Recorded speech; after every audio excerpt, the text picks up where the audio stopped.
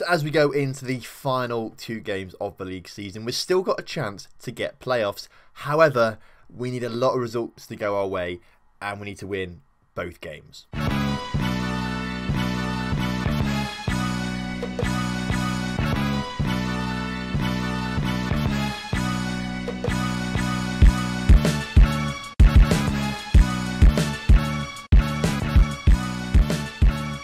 Hello and welcome back to the Real Day Out. Today we have the final two league games of the season against Rayo Vallecano and Seville B. Since you were last here, we've only played two games. Uh, Valladolid, a 1 0 win there. Anthony Lozano getting the goal there in that all important game. And then a 3 2 win against second place at the time, Cadiz. Huge win that was as well. Uh, it did look a bit nervy for a while. Salbron got a penalty in the 79th minute, which he scored. But it was 2 2 for a while, uh, with Cadiz scoring the two goals uh, from their two shots on target in the entire game. So it was a little bit nervy, but we did manage to get there in the end, get collect the three points, which is a good result, I've got to say. It was in the Valladolid game. Uh, Garaletta has been injured, so I don't think he'll feature won't feature in the Vallecano game. He may feature in the Seville game, uh, but he has been out for a little while. What that means for the table is that we sit 8th still, uh, level on points with Tenerife. They've got a slightly better goal difference, but with two games to go, we can take six points from those two games. Uh, we're only five points off Huesca and Sporting Gijon. So if they lose both their games, and uh, one them lose both their games, we win both our games, and get better goal difference than Tenerife or they slip up somewhere, then we will get into the playoffs. However, as you can tell, that is a huge ask and a lot has to go in our favour. So uh, fingers crossed it happens, but the likelihood of it happening is well, it's very slim. So this then is the lineup for the first game against Vallecano. Uh, we're going back to this 4-3-3 sort of formation. It seems to be working all right. It's the exact same lineup that got us the win against Cadiz in last episode, or last game rather. So we start with Juan Carlos in goal, a backline of Katungo, Fernandez, Hernandez and Johannesson. Uh, Forlín, Fulch and Mariga start in that midfield. Obviously, uh, Garaletta injured, just come back from it but not really fit enough for it. Uh, Aaron on the left, Berjón on the right and then Lozano starting up front. So kickoff is upon us today. Uh, we're away from home but still playing in our usual blue kit. Vallecano in the white kit, as it was in both games last episode, I think, as well. So I think we can now sort of reflect on the season, and I think we have been doing pretty well this season. We started off really poorly, uh, but the way we have recovered is pretty good, and it's kind of annoying because we started so poorly. I think if we hadn't started so badly, we would be up around that sort of first, second, third sort of position, I think, if we'd had a better start to the season, not lost so many games.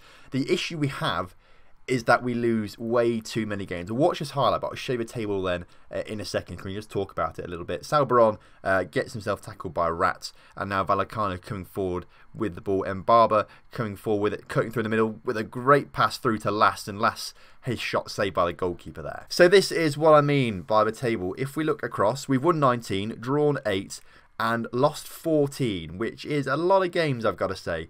Uh, we've lost quite a lot of games this season. It's not great. If we look into like the, the playoffs and, and the promoted sides, they've lost, I mean, 12 Cordoba, 12 Huesca, but no one's lost more than that, really. That's where we want to be. They've won a lot more games than those teams as well. So if we can just convert a few of those losses into wins next season, I think we should be a lot better off. So we're still losing games, more games than teams in the bottom half of the tables in some occasions. Like here's Numancia with 14. We've lost 14 as well. So we really need to get a bit more of a solid defence next season. That's what we need to focus on, just improving that defence, making it a little bit more solid. Also, looking at this, no one else that we're sort of concerned with are playing at the same time as us right now. Uh, it looks like Tenerife lost their game actually because they've also played 41 but not playing there, so they must have lost at some point. Uh, we obviously have a decent chance as well. Gijon not played yet, but Huesca have, so of course uh, we're still in touch and distance with Huesca. A win today is what we need, and right now it's not looking likely as Vallecano come forward. I think we've missed a few highlights where they've come close, and this time they have put the ball in the back of the net. Lass putting it in the back of the net from distance there. That is not the way we want it. Lozano on the ball now as we try and come forward in the last few moments of the second half, although we just get tackled. Lass coming forward once again. He looks like a decent player so far. Lass, he's been a bit of a troublemaker. He's shot there. Not very good to try and give him some credit, but we may try and scout him out. It's very interesting. We've had the exact same lineup as a team against Cadiz, and yet today we are just not very good compared to where we last game. Well, the first highlight of the second half comes in the 63rd minute, so a little bit late on, to be fair. We've lost the ball again to that last chap. He's really, really good, although we've won it back. Salbaron on the ball, plays it out towards Fulch. Fulch gets the ball across to Aaron, who's looking pretty dangerous on the edge of the area, gets it out to Johannesson, who can put in a decent delivery. We know he can. He doesn't put it in there, but Fulham plays it out towards Aaron, who gets it oh, nearly back across. Katungo doesn't quite win it. And now De Tomás is coming forward for Vallecano now as they try and build their own little counter attack now coming forward now on this right hand side of the pitch. They put a great ball forward, to be fair, across the area. De Tomás is there to score the goal, and I think that could be it for our playoff hopes. Oh, there's number three. I wasn't particularly paying attention. Uh, but it's it's beyond all doubt now. Vallecano 3, Oviedo nil, And, okay. I'm really not sure why things have just turned round to uh, us being very, very poor. We've grabbed, I was about to grabbed a goal back there, but the keeper made an absolutely incredible save there. Fair play. They've got another chance now on the edge of the area. Pass it back out to their corner taker. It, they've hit the crossbar. They're all over as Vallecano. And this is what I mean. I think I said it last episode, but we just aren't good enough yet defensively. We're not solid enough. Look, look at these stats, and we've had some decent chances ourselves. But Vallecano made good use of their 18 shots and seven on target. They've been much better than us today, much more clinical. And if we went up this season, we wouldn't be ready for it. We have to improve next season. Uh, really try and get some decent results under our belt next season. Not lose as many games. That's been our major issue, I think, this season. Just losing too many games, especially at the start of the season. We couldn't couldn't buy a win, basically. We were really, really poor. So we just aren't ready to go up this year. Next year, we're going to have a much better squad. A lot of the dead wood is going to be leaving. Uh, a couple of the old... Obviously, this whole thing is meant to be for youth development, uh, which isn't working out too well so far on the grounds that the youth players aren't fantastic, but we will play them next game to give them a bit of first team experience. We've got nothing to play for next game against Seville, so it doesn't matter too much. Here we go. Cross comes in. There's number four. De Tomás with another goal his second of the game, the fourth for Vallecano. This is a real routing. And there we go.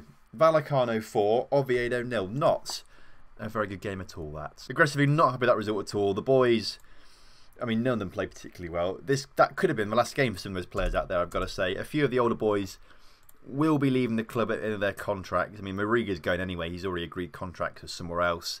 Uh, there's, yeah, there's going to be a few departures, I think, from this side. Now, I did mention that it's youth development. However, the youth development hasn't worked well. It's, it's doing well. You know, we've got some decent players coming through, uh, but I'm not quite sure it's going to be the best youth development. It might take a few years to actually get it going. So I've also got another club philosophy in uh, sign youngsters for the first team. So we should be developing our own players and also bringing in some young players as well for the future. So that's kind of what I'm trying to do here, uh, a bit of a youth thing. So maybe if we bring some young players in, I think if they train at the club for like three or four years before they uh, before they turn 21 or something like that, then they become trained by the club, which may make them a club youth player. I, am not quite sure. It might work out like that. If someone knows, please let me know in the comment section. So we've got two philosophies then, develop youth system and uh, sign youngsters for the first team. So that should be pretty good and should put us in some good stead, I think. Oh, Anthony Lozano has been called up to the World Cup for Honduras. Obviously, uh, the World Cup's slightly different in this because we start like at the start of the season, so the World Cup qualifying hasn't been finished yet. So Honduras obviously qualified in game for the World Cup, and Lozano's been called up for it.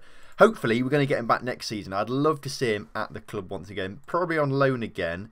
Uh, what's his transfer status like? Is he listed? He's not listed. Um, he's not listed, but he is. Well, he didn't say anything. He says not needed there as well. So maybe he will come to us. He's got one more year on his contract, valued at 1.9. That's too much for us to buy at 1.9 million, but you never know. They may sell him on the cheap, or maybe we'll get him on loan again, something like that. I keep wanting to as well, like uh, increase. Where is it? Uh, where's it gone? Uh, I want to increase our youth recruitment and junior coaching, but all it says is cut back on youth recruitment or finance uh, decreased junior coaching budget. It wouldn't let me increase or anything like that yet. So I'm sort of just waiting around for it to say, yeah, increase it if you want, because I know it's not the best. Like, it's adequate and average.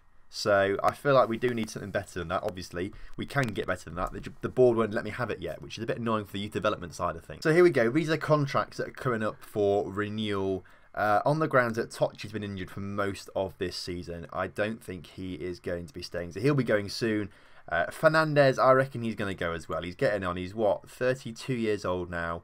Uh, he's still got a little bit. We may give him a year contract or something like that. Uh, in fact, should we offer him a year contract? His existing contract's on 3.6k. He wants 3.3. I'd like to take that down to 2. I mean, I'm going to keep him. He's not really going to be used next season, hopefully. Uh, so I'm only going to keep him down there uh, in case we maybe need him. If you want, if he accepts 2k and like less per appearance fee and less per clean sheet bonus, then maybe we'll keep him. Uh, but he's not going to accept. He want he wants a lot of money. Fernandez is going. Rocha isn't cut out for us anymore. Two and a half star current ability is not good enough to get promoted next year. So all three of those first team players are going. Then I think there's a lot of B team players that I need to sort of think about. Uh, I think anyone with under two star potential is going to go, and then we'll have to try and get someone else in. I think what I'll do off camera is probably offer anyone who's got more than two star potential a contract everyone else can probably go. I do also want to bring in quite a few players next season for the B team. Just players with like three or four star potential, put them into the B team, just see what happens to them. We hopefully should have bigger wages next year, bigger wage budget. Hopefully that'll help us out uh, and we can just get a few more players involved uh, and really get us going for next season. Hopefully get a bit more of that youth recruitment sort of thing going. Oh, the B team manager has just left. By, I mean, I didn't have any say in this. he's just gone.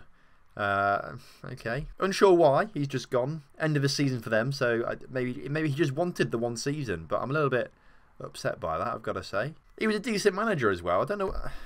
Look, can we just offer him a contract? Approach this. He doesn't want to join. Okay, fair play. Well, that's a bit of a shame. We'll have to find a new coach or manager for the B team next season. I'm not really sure how the B team have done. Um, I, when I made this, I forgot to load any more leagues below this league that we're in. So next season, the extra Spanish leagues come in, but I forgot to load them up for whatever reason when I was actually making the game. So I don't know how they've actually done this season. Right, so last game of the season then, we're going to try and play the youngsters out there. There's a mixture of youngsters and, and some normal players out there, but Rumbo starts in goal. He's been our backup this season, two-star current ability, four-star potential. He's not really seen much of him apart from maybe the first episode when I spoke about him, uh, but he's in goal. Uh, Katungo and Johannesson as the fullbacks as per usual, but the youth prospects that came through our youth development this year Diaz and Ongoiba start at the back. Diaz, uh, one star current ability, but got four and a half star potential now. He's gone up a little bit. Uh, Ongoiba, how's he getting on? Uh, again, he's gone up potential wise a little bit to four and a half stars. So they both started on four, but is now four and a half, both of them, which is good going. Forlín starts in the middle with uh, Garrett there as well, but Dylan also comes in as that attacking playmaker. He's a player that we brought in as well, two star current ability for star potential. Uh, Gomez, who you know all about, is starting that attacking midfield position. He's a youngster. Felix, also a youngster, starting there in that target man position. And Lozano, of course, starting up front as that complete forward. So hopefully, I mean, it's not going to be a great game. We're playing a lot of youngsters who are unproven and not really very good. But hopefully it'll give them a taster of senior level football and uh, they should do all right. Right, kickoff is upon us. We're at home again. Most of our games at the last part of the season seem to be at home um, which must mean we had quite a few away games at some point. As I say, this game is, is just about giving these youth guys a little chance out there, giving them a taste of first team football, which they need to improve. So hopefully today they'll take a lot of lessons from this game. Of course, they're playing the Seville B team, which is probably comprised of a lot of youngsters as well, who are probably equally as good or bad as our players on the pitch right now. So it should be a relatively interesting game. Chance now, the first highlight of the game looks like it's coming towards Seville now as they try and walk, work a ball forward. Although Fulham makes a nice interception, Felix can come forward with it now. Lozano on the ball with lots of space, puts it back out towards Felix. Can he get it out to his, his fullback? Not quite. Puts an awful ball forward to Pozzo. And now Seville trying to counter-attack getting forward now with a few numbers. And Paul comes into the middle. The ball got to its man, hit the post, luckily for us, because I don't think Carlos or Rumbo was going to get to that actually. Uh, and it was cleared behind for a corner. The corner comes in and it's cleared by Felix of all people actually coming back from up front there to clear that ball. Free kick now for Seville. Pozzo puts a ball in and it is headed in by one of their players up front. A decent set piece there. We should have done a lot better. Uh, obviously, the issues will come from that young centre back partnership who aren't really used to dealing with things. Although Johannesson is the one whose rating has gone down by quite a bit, so maybe he was the man that was meant to be marking him, and he didn't win his head. It's not these youngsters that are doing the, the, the bad stuff here. In fact, they're one of the best players on the pitch. Well, I mean, it's not been an awful first half, but we we've not really challenged up front much, have we at all? Which is a little bit annoying. Uh, I will go with what our assistant says. Go aggressive. Show me something else in that second half. Everyone seems to be motivated by that. Um, they may be motivated, but will they actually make a change or not? I don't know. Usually, it means nothing happens. They may be motivated, but it doesn't seem to change much at all. Maybe that's my fault. Maybe I should be changing tactics as well as motivating them as well. That's probably part of the issue but uh, I'm too stubborn to change things right now. It's the last game of the season. We don't need to change things too much. There's a lot of stuff going on at the top of the table, though. Uh, Zaragoza already confirmed champions, but Cadiz must be losing uh, and Cordoba and Gijon winning. So obviously Cadiz dropped down to fourth and Cordoba actually could go up uh, automatic promotion-wise after Cadiz have been there basically all season, actually. We've got a chance now as Gomez puts through Lozano. That was the first chance we've had really all game and Lozano puts it wide of the mark. So it's not been a very productive day for us up front today. Still not had a shot on target in 62 minutes of the game, which is bad. David Cameron, of course, we, we played Seville earlier on in the season. We realised that David Cameron, after leaving office, went to Seville B to play on the wing for them. Uh, he, he's basically set up a goal for them there. Didn't quite get the last assist. But uh, Seville do manage to get the goal after talking about him. In fact, should we look at him? Oh, he's actually their right back. I thought he was their winger. Uh, I mean, to be fair, yeah, he's on the right of centre. It actually looks pretty decent, to be fair. Oh my good, he looks all right. I actually kind of want to sign David Cameron. Uh, let's keep scouting him. Let's get more scout reports from him. But um, David Cameron is. Oh, he can play anywhere up the right. He loves this, doesn't he? Just like real life, he's in English politics. He's right of centre. So in football, right? I mean, this is great. Right, David Cameron, hopefully, is going to be signing for us. We just need Karl Marx on the left wing. Right, chance for us to come forward now, although that ball was rubbish from Johannesson, but he does win it back as Gariletta now plays it through to Gomez, who puts tries to get a ball out to Felix. Didn't quite work out for him, unfortunately. Uh, but Johannesson wins it back again this time. Again, it's just a bit of a yo-yo back and forth in the middle of the park right now. Seville trying to come forward now, actually. They seem to have gained a little bit of ground. A ball, great ball across actually to their man there. He was unmarked completely. And he's, again, Katungo just left him completely. The ball comes in. Fernandez puts it over for Seville, but they've been all over us today, and they do deserve to win this game. Of course, we never expected to win it in the first place because we are playing youngsters out there, essentially. We're not playing proper first team players. We're playing players that need to be blooded into the squad, really. That's why we're playing them today nothing to play for, may as well just use them. It does mean we drop down to ninth, uh, go up to 8th in the table, but again, it doesn't particularly matter too much at this stage of the season. We're still top half, which is what the board wanted. Interestingly, I think actually Oviedo came ninth in real life, or they're in ninth. I can't remember if their season's finished just yet. Uh, I know it's very, very close to finishing if it's not quite finished yet. I think they were in ninth. If they stayed there or not, I'm not entirely sure, but they were ninth. So if we finish where they finished in real life, that's spooky. And there we go. It's not actually been a bad game. 10 shots to 12 shots, pretty even possession, things like that. They just need better use of their chances. And I've got to say, I am impressed with the boys that came through. You know, the boys that came through, especially the youngsters at centre back partnership, they did pretty well together. So there we go. That is the end of the first season of the real deal. Uh, we'll skip forward a few days, see if like the end of season awards come through or something like that. That's kind of what I like to look at. Ongoiba though became the youngest ever Oviedo player with 16 years and 162 days. So I must be doing something right. Must be doing something right. Here we go. End of season awards. This is the team of the year. This is what everyone thinks is, is pretty good. Quarles in goal, Varela, Valentini, uh, Hernandez, and Johannesson at the back.